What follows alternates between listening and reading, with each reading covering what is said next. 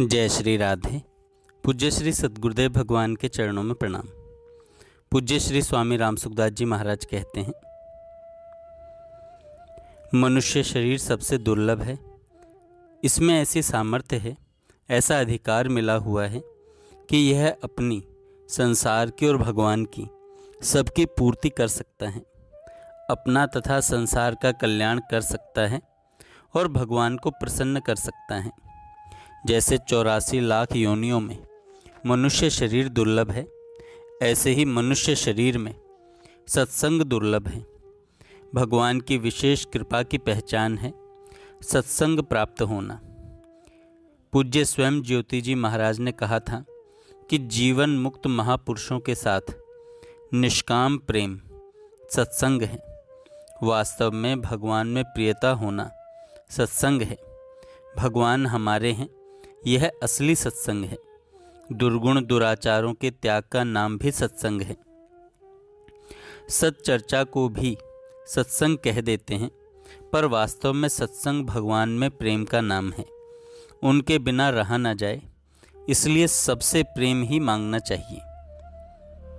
संत, शास्त्र, सद्भाव भगवान का हृदय है।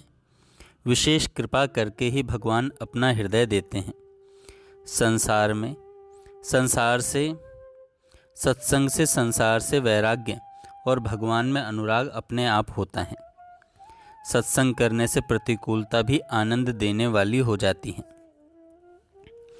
भगवान के साथ मनुष्य ही खेल सकते हैं, इसलिए भगवान मनुष्य को सखा ही बनाते हैं, चेला नहीं बनाते। भग, मनुष्य को भगवान ने अपने लिए बनाया है। यह विशेषता हमारी नहीं, प्रत्युत। भगवत कृपा की है। भगवान के समान शिक्षा देने वाला, समझाने वाला और कोई नहीं। हर एक घटना परिस्थिति में वे हमें समझा रहे हैं। जिससे साधक मिलना चाहता है, वह मिला हुआ है और जिससे अलग होना चाहता है, वह अलग है। जो अलग है, वह मिलेगा कैसे? साधक का काम केवल बहम को मिटाना है। पता लगते ही पाप करना छोड़ दो तो पहले किए पाप भी माफ़ हो जाएँगे। पहले किए पाप भी माफ़ हो जाएँगे।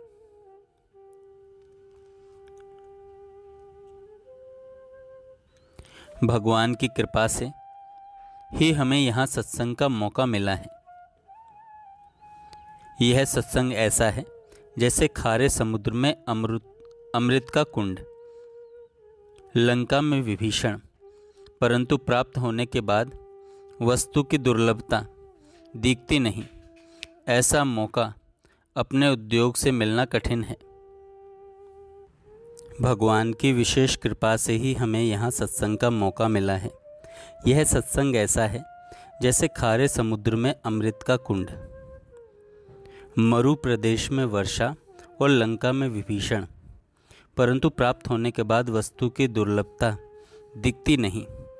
ऐसा मौका अपने परिश्रम से मिलना कठिन है। लोग कहते हैं बार बार सत्संग करने से क्या लाभ है? पर शंकर जी सदा सत्संग मांगते हैं कि बार बार वर मांग हूँ, हर्षि देव श्री रंग, पद सरोज अन पायनी, भक्ति सदा सत्संग। हे नाथ, मैं आपका हूँ, आप मेरे हो। ऐसा सुनकर भगवान को बड़ा आनंद आता है। ऐसा कहने वाले का भगवान बड़ा आदर करते हैं। बड़ा आदर करते हैं। भगवान ने अपने सन्मुख होने के लिए जीव को मनुष्य शरीर दिया है।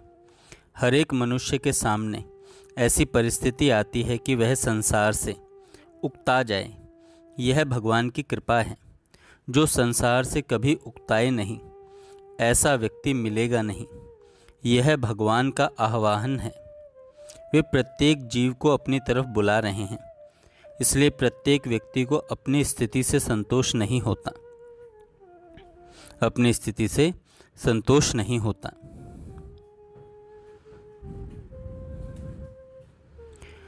जय श्री राधे।